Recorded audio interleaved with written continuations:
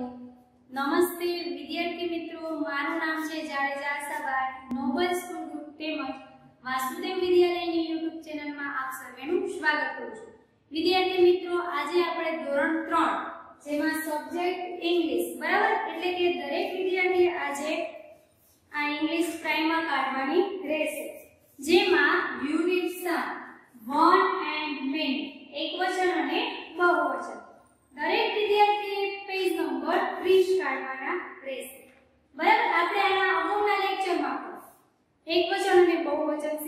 કે ક્યાં એસ લગાવો અને ક્યાં ઈએસ લગાવો. અને એ આર્ટિકલ્સ છે નીકળી જાય છે. તો એ જ રીતે આપણે આજે પેજ નંબર 30 પર તમારે પણ મારી સાથે આ ખાનામાં આન્સર લખવાનો રહેશે. ચલો, પેલું જોઈએ. શું તેનું ચિત્ર છે? તો કે બોક્સ એ બોક્સ b ઓ એક્સ અહીંયા તમને ફરીથી એક વાર લખી દઉં છું. S double S S H C H H K O બરાબર આટલા અક્ષર હોય ત્યારે જ ઇંગ્લિશ લગાવો શબ્દના અંતે જ્યારે આ અક્ષર આવતા હોય જ બોક્સ હવે એને આપણે શું કરવાનું છે? તો કે બહુવચનમાં ફેરવવાનું છે. તો બોક્સનું શું થાય? બોક્સિસ બી હવે જુઓ તો એક્સ છે આમાં છે. તો એટલા માટે શું કરશું? અહીંયા આપણે ઈએસ લગાવી દઈશું. બોક્સનું બહુવચન શું થાય? કે બોક્સિસ આગળનો એક એ નીકળી ગયો છે એસ કે ઈએસ લાગી ગયું ત્યાર પછી બીજું ચિત્ર શેનું છે? તો કે કેટ. એ, કેટ.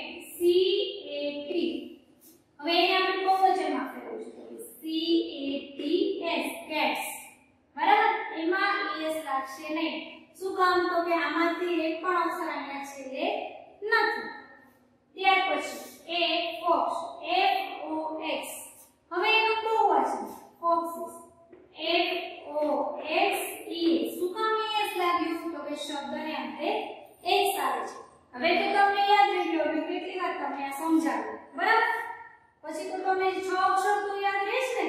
એ છ અક્ષરના આધારે જ આપણે ઇંગ્લિશ લગાવવાનું છે. ત્યાર પછીનું સૂત્ર શેનું છે, તો કે banana? A B A N A N A બનાનાનું શું થાય તો કે banana B A N A N S banana ત્યાર પછીનું ચિત્ર શેનું છે A, B, U double F A L O buffalo શું થશે? Buffaloes B U double F A L O તો કે ઓ છે અહીંયા છે. એટલા માટે અહીં શું લાગશે? ઈએસ બફેલોસ બરાબર? B U double F A L O E S ત્યાર પછીનું ચિત્ર શું છે તો કે brinjal A B R I N J A L brinjal શું થાય? Brinjals B R I N J A L S બ્રિંજલ્સ ત્યાર પછી સૌથી છેલ્લું ચિત્ર શેનું છે? તો કે ડ્રેસ એ D R E double S ડ્રેસનું શું થશે? ડ્રેસ તો કે D R E double S છેલ્લે ઈ શું કામ? તો કે શબ્દને તે છેલ્લે ડબલ એસ કે ડ્રેસનું ડ્રેસીસ ફરીથી બોક્સનું બોક્સીસ. ત્યાર પછી કેટનું કેટ્સ ફોક્સનું ફોક્સીસ. ત્યાર પછી banana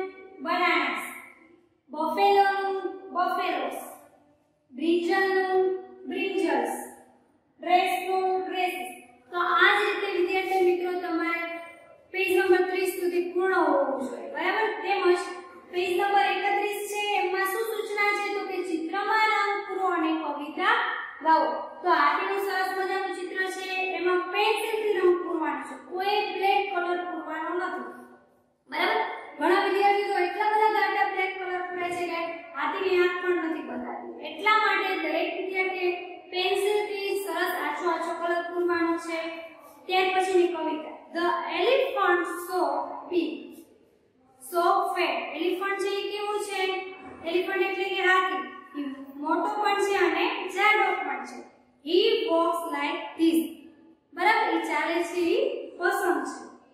And he walks like that. He has no hands, but a long nose એને હાથી છે એ કેવો છે તો કે જાડો છે. બરાબર? મોટો છે.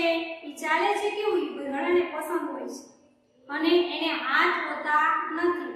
પણ ના નોઝ એટલે ના નાક કેવું હોય છે? લોંગ એટલે કે મોટું હોય છે.